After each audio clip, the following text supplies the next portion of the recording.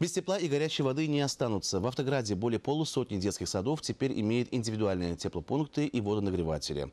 Какую экономию это принесет, знают наши корреспонденты.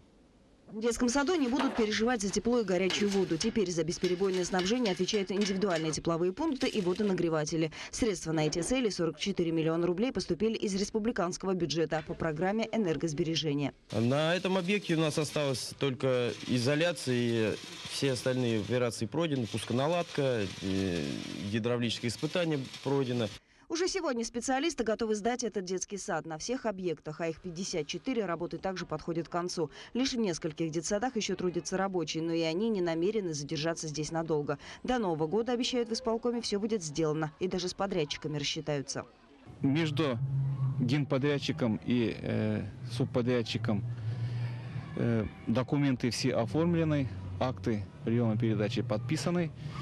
Какие средства по программе энергосбережения получит «Автоград» в наступающем году, пока неизвестно, но уже определились, куда их потратят. Деньги снова решили направить на установку теплопунктов и системы закрытого горячего водоснабжения в бюджетных организациях, детсадах, школах, больницах. Лилия Жданова, Елена Портнова, Андрей Буслаков, Вести Татарстан, Набережные Челны.